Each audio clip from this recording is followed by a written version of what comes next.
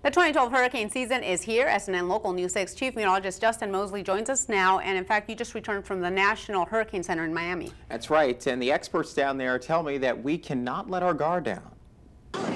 Last year, we saw one of the most active hurricane seasons on record, which included Hurricane Irene, a Category 2 storm that hit the big cities in the Northeast.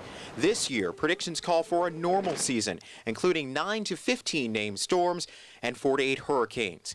Despite the predictions of an average or even below average season, devastating storms can still occur. Hurricane Andrew struck this city 20 years ago. We're here in Miami speaking with experts on the changes in forecasting from then until now. A lot of advancement in predicting hurricanes has taken place in the past two decades. Senior hurricane specialist Richard Pasch says he has seen a lot of improvement in the forecast models that are used today. Our global models have gotten uh, much better in, in those two decades.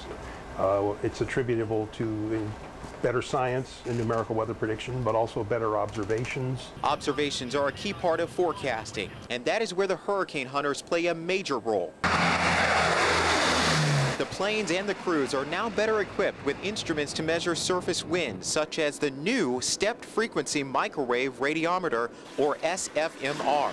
It is proven to be a major asset to forecasters. The instrument's not perfect, but it's certainly given us a lot more uh, information on the strength of the surface winds and hurricanes. With the science continuing to advance, forecasters see improved accuracy with where the storms are heading. They now have better data for model guidance that directly impacts the cone of uncertainty. The decrease in that cone is, is directly related to the uh, decrease in the track forecast error which is the uh, difference from between where we predict the storm to be at a certain time range and where it actually turns out. Scientists continue to strive for a more accurate forecast. This gives you, along with emergency managers and business owners, more reliable information for decision making and, most importantly, preparation. Be sure to join us for the rest of our hurricane series every day this week.